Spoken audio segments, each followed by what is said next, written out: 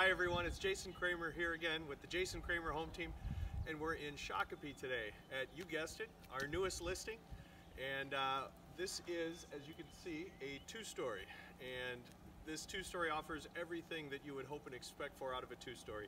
It's got four nice-sized bedrooms upstairs, got a private master bath upstairs as well.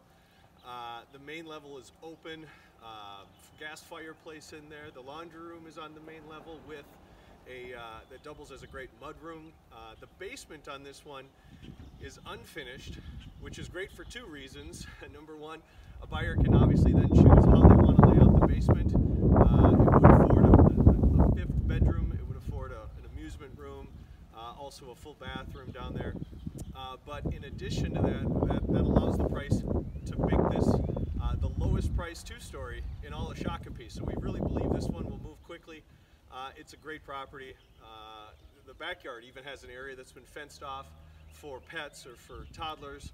Uh, just a great house all around, uh, ready for the right buyer. So if you know anyone looking for a home like this or yourself might be interested, click on the link for more info and more photos. And we look forward to talking with you soon. Thanks.